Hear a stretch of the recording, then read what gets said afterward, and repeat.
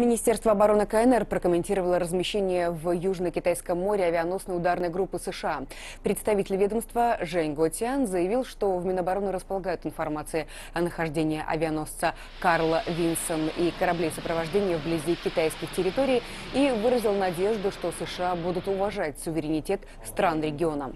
Военный чиновник также отметил, что Китай уважает, в свою очередь, свободу навигации и пролета над водами моря в соответствии с международным законодательством законодательством и ответил на американскую озабоченность по поводу строительства искусственных островов в Южно-Китайском море. Китай обладает неоспоримым суверенитетом над островами в Южно-Китайском море и прилегающими водами. Китай имеет полное право укреплять свою необходимую оборонную инфраструктуру в соответствии с вопросами безопасности. Это право суверенного государства. Мы надеемся, что США смогут уважать суверенитет и безопасность стран региона и по-настоящему уважать усилия на поддержание регионального мира и стабильности.